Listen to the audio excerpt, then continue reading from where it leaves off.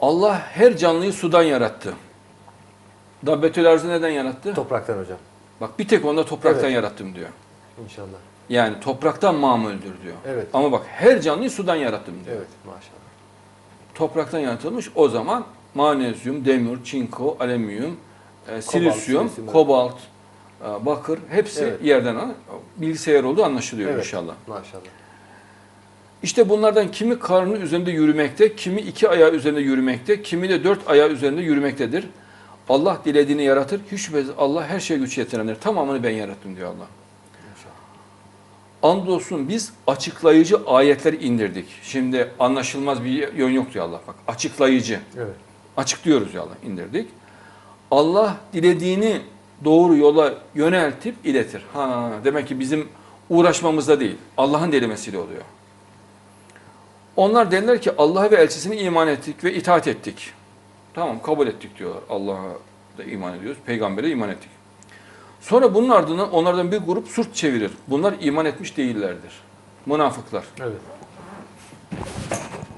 Bizde de çıkıyor münafık. Her yerde çıkar. Evet. Değil mi? İnşallah. Mehdi cemaatinden de çıkacaktır münafıklar. İnşallah. Evet.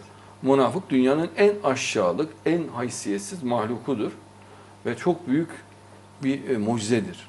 Mesela peygamber zamanında peygamberin yerinde münafık çıkıyor yani bulunduğu mekanda. Yani mucize görüyor. Vahyin inişini görüyor. Evet. Peygamberin güzelliğini görüyor, heybetini görüyor, harika güzel ahlakını görüyor. Buna rağmen kahpe münafık. Evet. Yani insanın beynini e, zorluyor artık. İnanılır gibi değil. Mucize yani. Tabii inanılır gibi demeyeyim. Allah affetsin ama mucize. Evet. Şaşırtıcı. Mehdi'nin de devrinde münafıklar olacaktır. Yani onun çevresinde böyle aşağılık mahluklar olacaktır. İnşallah. Mehdi'yi e, Mehdi olmadığını zannederek kendilerince yıkmaya, devirmeye çalışacaklardır. Küfürle işbirliği yaparak, dinsizlerle, münafıklarla, alçaklarla, haysiyetsizlerle işbirliği yaparak devirecekler zannetmişler, zannedecekler. Çünkü Mehdi olduğuna da kanaat, zaten Allah'ın varlığına kanaat getiremiyor. Kur'an'ın hak olduğuna kanaat getiremiyor. Dolayısıyla Mehdi'nin Mehdi olduğuna da kanaat getiremiyor. Evet. O yüzden de hakikaten onu devirebileceğini düşünecektir. Çünkü adetullah ortamı olduğu için onların gözüne Allah öyle gösterecektir. Hakikaten zarar verebileceğini, hakikaten etkisiz hale getirebileceğini düşünecektir. Çünkü Mehdi ortadan kalkmadan münafık rahat edemez. Çünkü ona vicdan azabı veren şey Mehdi'nin varlığı. Kur'an'ı zaten inanmaz münafık ama Mehdi canlı bir varlık. Elle tutulan, gözle görülen bir varlık. O durduğu müddetçe münafığın kalbi rahatlamaz. Onun için mutlaka öldürmek azminde olurlar.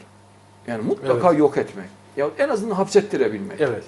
Etkisel ama asıl istediği şey öldürebilmektir. Evet hocam. Münafığın isteği budur.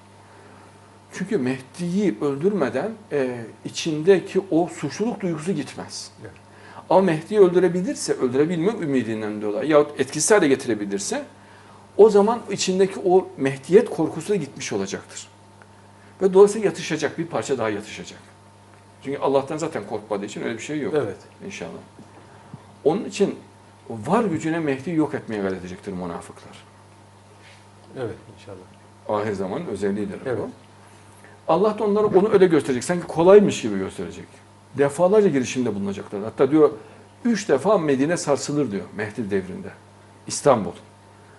Ee, münafık atakları olacak diyor çeşitli.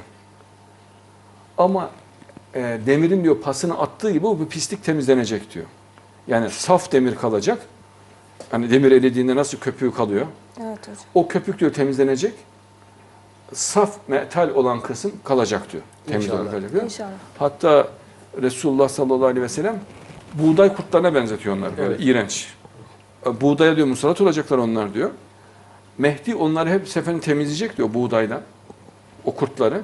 Yine kurtlanacak diyor buğday. Yine temizleyecek. Bu defalarca olacak. Sonunda 313 tane aslan kalıyor. Maşallah. Onlarla işte İslam'ı dünyaya hakim ediyor. İnşallah hocam. E, münafık e, Müslümanın adrenalinidir. İnşallah. Evelallah. Yani onu e, gayrete getiren, onun heyecanını artıran, mücadele azmini artıran adrenalindir. O köpekler adrenalin görevi görürler. İnşallah. Tabii. İnşallah. Haberi bile olmaz onun. Her ata Müslümanları canlandırır, şevkini artırır. Yoksa Allah azze ve celle Müslümanlara meskenet, e, bitkinlik meydana gelebilir. Mehdi'ye yapılan atakların, meydana getirilen saldırıların kökeninde e, Mehdi'ye olan bir iman kamçısıdır o. Yani Mehdi ondan canlanır.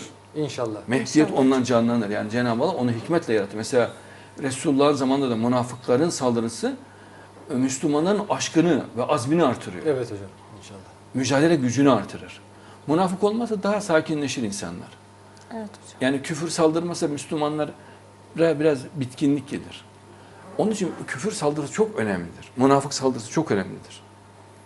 Kan yapar Müslüman da o. Böyle ruh verir. İnşallah. Enerji verir. Yani mesela soğuk suyla nasıl duş aldığında insan canlanıyor. Evet. Nasıl elini yüzünü yıkadığında canlanıyorsa münafık da insan Müslüman üstündeki kiri alır. O bir pisliktir. E, Müslümanın üstünden o pislik gitmiş olur. Kir gitmiş olur. Yani münafık kiri gitti mi yani Müslüman yıkandığında üstündeki o kir gitmiş oluyor. Dinç ve zinde olur Müslüman. İnşallah hocam. Her seferinde Müslüman yine kirlenir, yıkanır, münafık gider. İnşallah. Yine dinçleşir. İnşallah.